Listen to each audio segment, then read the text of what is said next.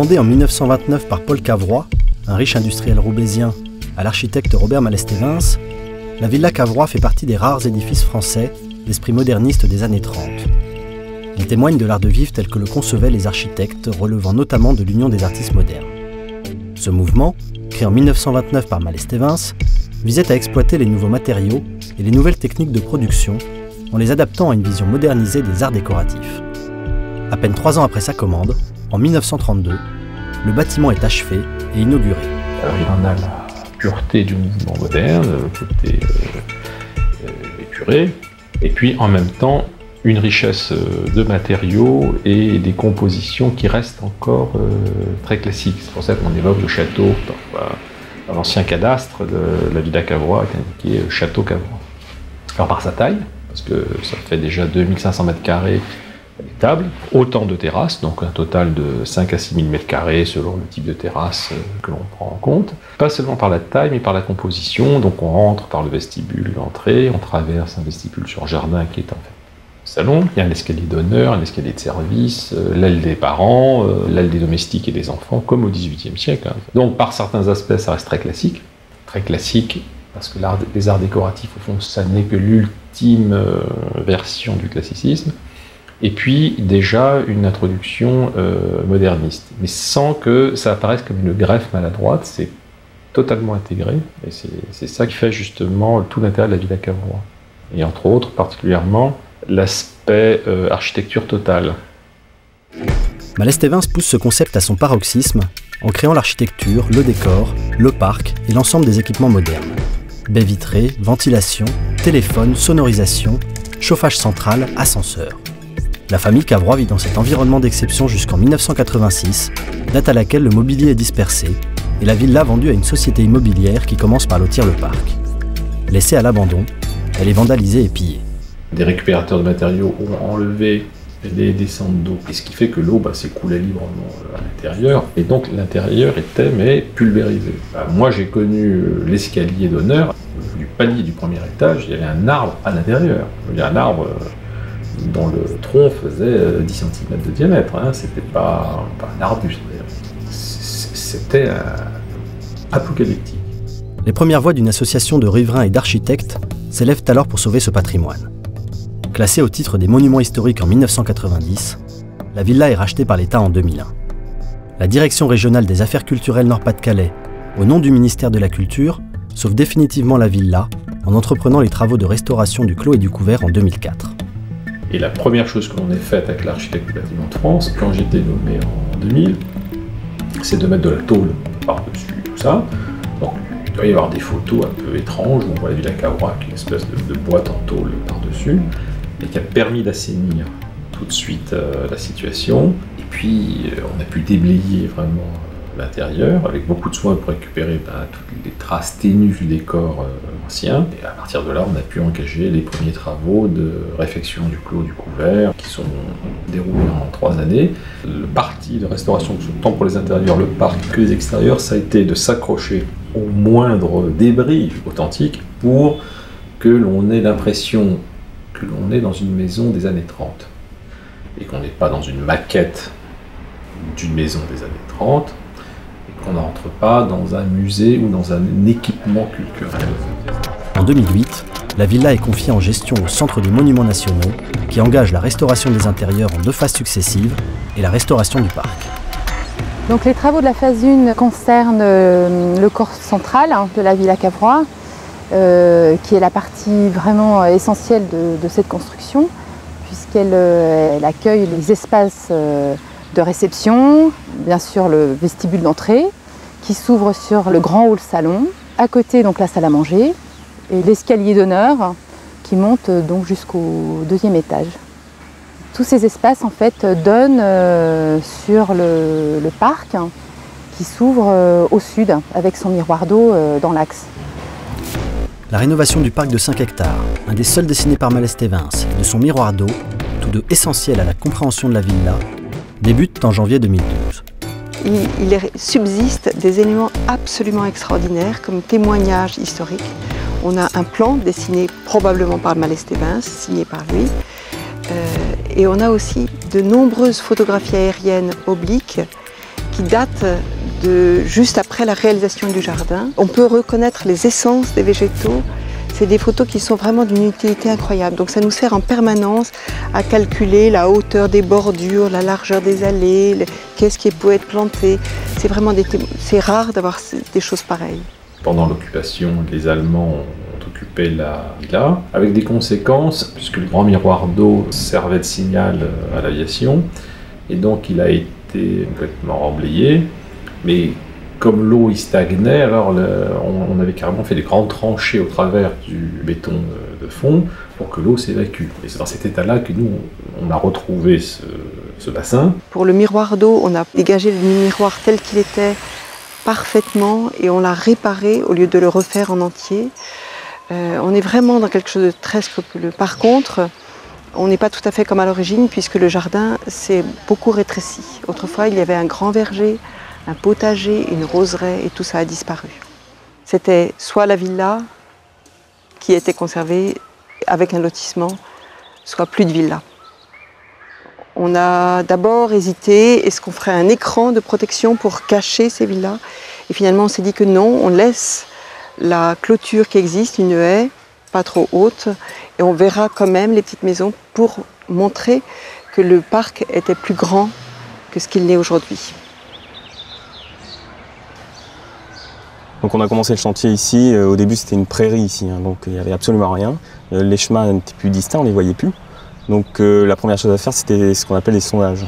Donc c'est avec une mini-pelle, on a creusé à l'emplacement approximatif des chemins, hein. on a pu trouver les fondations des chemins, on a même pu retrouver le, caillou de finition du chemin. Quand on a retrouvé les chemins, forcément on avait une, une. Donc on avait le jardin qui se profilait, on a refait une implantation précise, on a terrassé pour faire les chemins. On a conservé la fondation d'origine sur les 10 cm, on a remis une fondation au-dessus, on a fait toute la borduration, donc c'est la borduration métal. Ensuite, c'était la mise en place d'une villa gravel, dans laquelle on met les cailloux. Et après, c'est tout le profiler le terrain, donc la mise en place de terre de chaque côté et, euh, l'engagement. Quand je voyais, le plan avant les travaux de restauration, J'arrivais pas bien comprendre en fait cette logique de, dessin. Je disais c'est un peu, euh, c'est très tendu, c'est très géométrique, c'est froid. Euh, vers la fin des travaux, euh, en parcourant ces allées, ben, tout d'un coup c'était évident. La villa, elle retrouvait son assise. Et puis comme les allées sont très étroites, hein, ça a multiplié la perspective. Le, miroir d'eau semble plus long. c'est vraiment une, mise en scène qui, semble, en tout cas pour moi, qui me semblait évidente quand, tout se révélait quoi, à, la fin des, à la fin des travaux.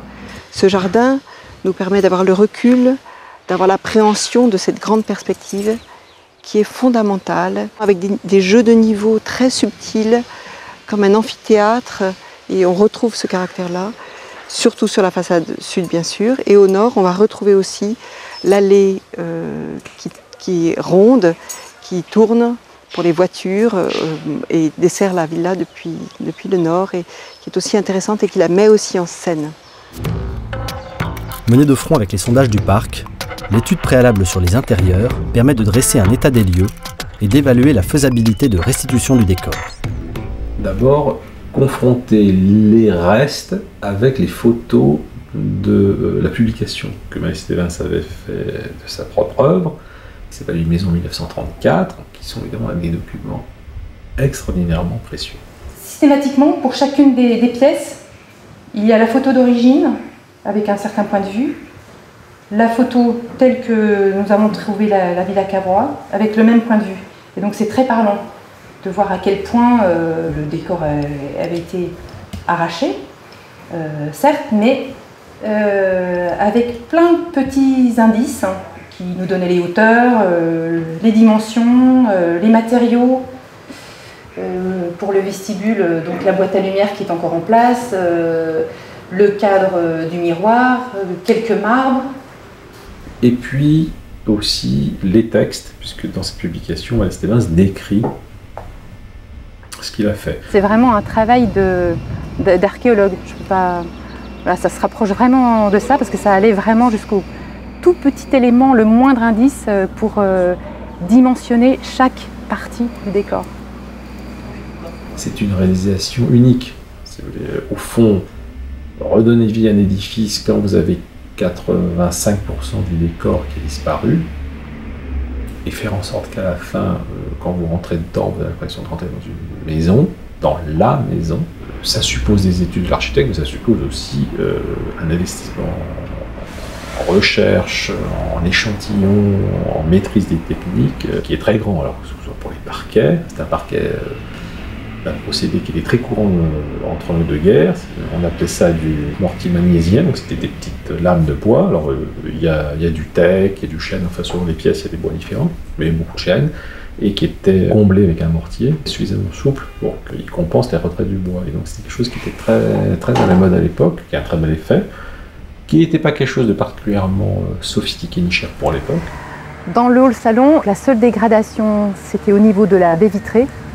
Donc il y avait des infiltrations d'eau, donc là le parquet était irrécupérable.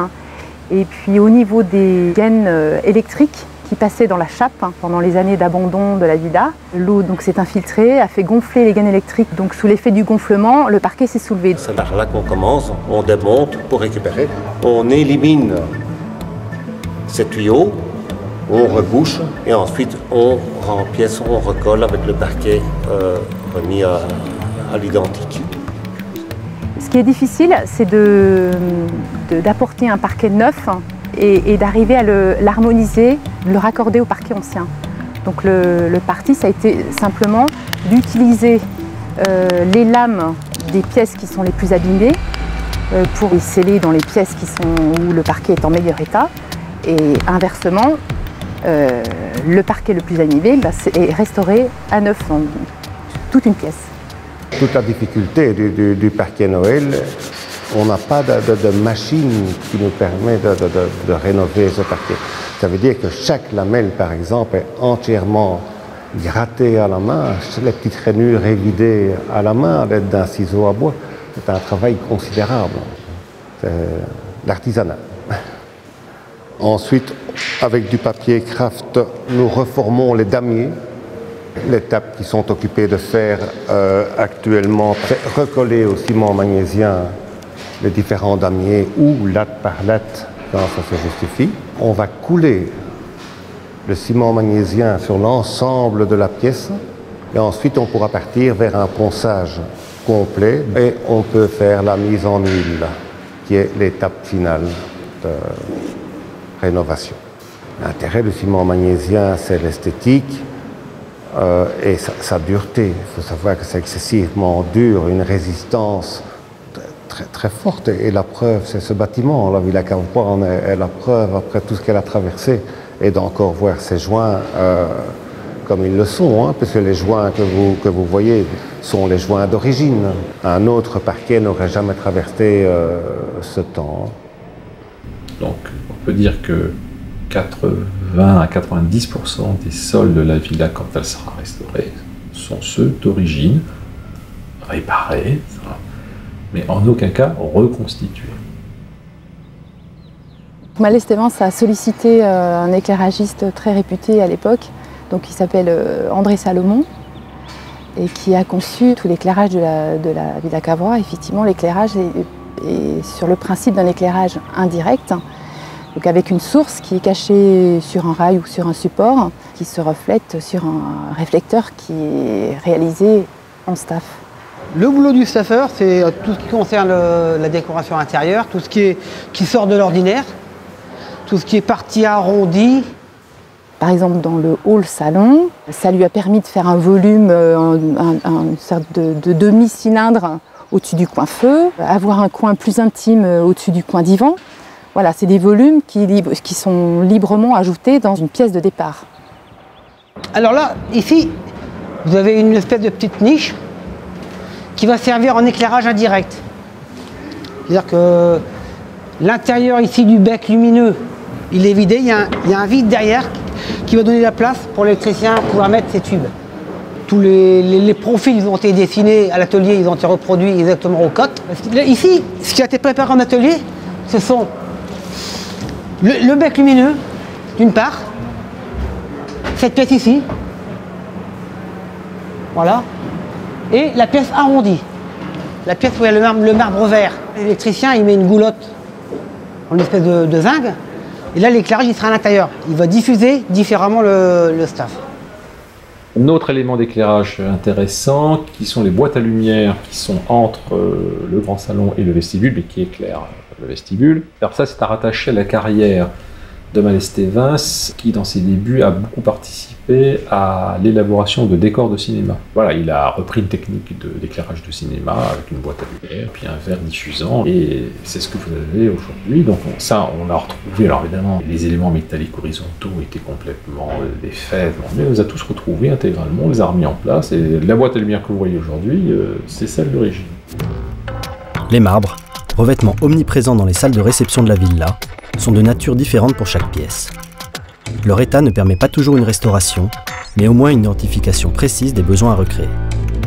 Marbre vert de Suède pour la salle à manger, marbre jaune de Sienne pour le coin feu dans le salon, marbre blanc pour le, le vestibule et l'escalier d'honneur. Et ça a été encore plus compliqué pour le coin feu et la salle à manger dans la mesure où il y avait un, motif. Dans le salon, les marbres, il restait vraiment quelques plaques, quelques éléments, suffisamment pour avoir quand même la texture, euh, la couleur euh, de ce marbre, que l'on connaissait par des photos des années 30 en noir et blanc, qui vous donnaient donc le calepin, la division, les dispositions géométriques, on va dire.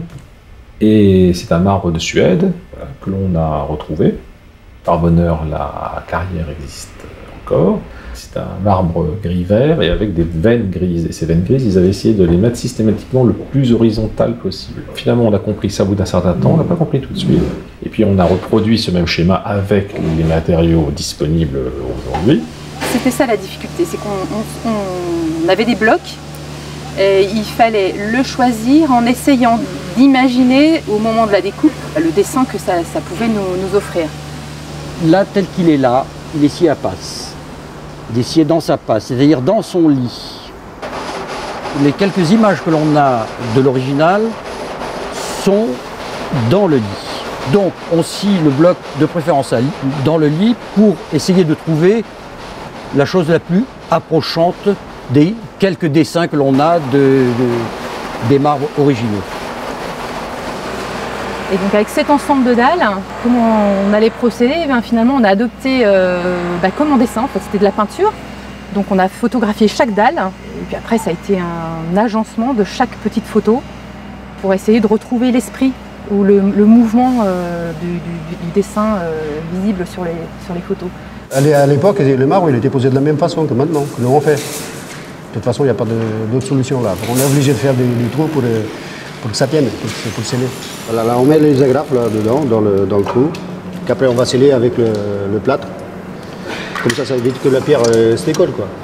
C'est ce qu'on a trouvé là-bas dans le, dans le coin feu. Et même ici, on, on trouve les agrafes, on, trouve- on a trouvé même euh, les mêmes agrafes euh, et tout.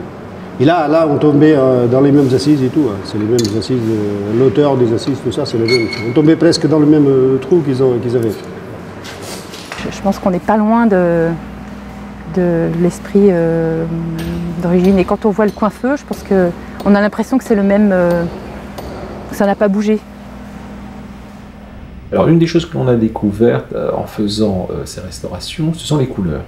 On a découvert, par exemple, que tout le vert, qui est assez fort, hein, du, du hall, bah, renvoie au parc, en réalité, au travers de cette immense baie. Et puis, quand vous tournez à droite vers la salle à manger, eh ben, vous avez un gris vert atténué. Donc, au fond, c'est le parc qui a commandé la couleur du salon, qui lui-même a commandé indirectement la couleur de la salle à manger, qui regarde également le parc. Et les volets extérieurs euh, étaient verts également. Donc il y avait toute une euh, déclinaison, est-ce que le vestibule, lui, alors il est entièrement noir et blanc? Et à l'extérieur, vous avez cette architecture de briques avec les joints qui étaient peints en noir. Ça, on les a retrouvés à certains endroits et on les a reconstitués. Alors évidemment, ça donne une architecture extrêmement horizontale et ça marque ces traits horizontaux. Quand vous entrez dans le vestibule, la porte extérieure du vestibule a des lignes horizontales qui renvoient aux lignes horizontales noires de la boîte à lumière, qui renvoient aux lignes horizontales noires des contre-marches de l'escalier. Ce sont ces sensations d'effet d'architecture que l'on ne soupçonnait pas, et tout ça c'est très classique, ça c'est pas du tout moderniste. Pour en revenir au début de l'explication. La reconstitution du mobilier apporte la touche finale et non moins délicate de la restitution du décor. la précision et la finition qu'elle demande sont rendues encore plus difficiles du fait de la disparition totale de plans et de relevés et de la dispersion du mobilier de la villa. C'est vrai qu'on n'avait rien, hormis euh, des traces au mur. On a demandé aux menuisiers ébénistes hein, de recourir à la photogrammétrie. L'étude photogrammétrique, euh, c'est tout simplement l'étude des clichés euh, de 1930, à partir desquels on a pu déterminer euh, les, dimensions des meubles pour pouvoir les fabriquer en atelier. Pour parfaire cette reconstitution, on a fait un stade intermédiaire, on a fait faire des maquettes à l'échelle grandeur en fonction de tout ce qu'on pouvait déduire des photos, des traces sur place, etc. Mais pour le vérifier, donc on a, fait les reconstitutions, on les a mis en place, on les a photographiés sous les mêmes angles dans les photos des- de 1934, et jusqu'à ce qu'on puisse superposer les, deux photographies. Ça, c'est le cliché original de 1930. Et ça, donc c'est le nouveau cliché qu'on a fait. Sur ce meuble-là, en fait, on s'est aperçu que les deux étagères de part et d'autre du coin feu, nos maquettes étaient trop courtes. On devait les rallonger. Elles étaient trop profondes. On devait les, les diminuer un petit peu en profondeur, de quelques millimètres hein, euh, parfois. euh, mais bon, c'est vraiment important, quoi. La technique utilisée pour la fabrication de ces meubles, c'est une technique d'ébénisterie euh, qui s'appelle le plaquage en fait et qui consiste à plaquer sur un support de fines couches de bois euh, de différentes essences. Euh, le support, là en l'occurrence, c'est du laté. C'est un support qui était utilisé à l'époque, dans les années 30. Ça faisait partie du travail d'étude d'aller voir des meubles de Miles Stevens dans les collections du CMN, dans des galeries, chez des collectionneurs, dans des salles des ventes pour étudier euh, les modes de fabrication, les matériaux employés, euh, euh, les types d'assemblage. Dans la Villa Cavrois, une essence de bois est utilisée par pièce. Alors dans le, dans le salon, c'est le noyer qui a été, qui a été employé. et dans la salle à manger des parents, le poirier. Donc poirier qui est ensuite noirci. La particularité du poirier, c'est qu'on ne voit pas les pores du bois.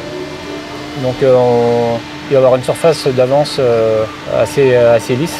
Quand on va vernir dessus, le vernis va rester, va pas, va pas se recreuser dans les pores. C'est pas des meubles très compliqués à fabriquer. La complexité réside dans les proportions, dans le choix des matériaux et dans les détails euh, de finition. On utilise les mêmes colles, les mêmes supports, les mêmes, euh, types de plaquage, les mêmes assemblages, même type d'assemblage. Euh, on essaye de, de bannir en fait les procédés anachroniques finalement.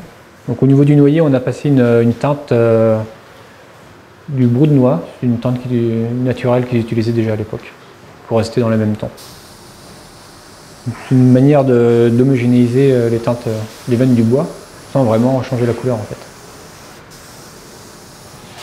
Pour fabriquer les meubles, on passe, on va un tiers du temps aux machines. Et après, c'est beaucoup de travail à la main, d'ajustage, de collage de plaquage, de ponçage. Euh, c'est un mobilier qui s'intègre à, qui s'intègre à l'architecture.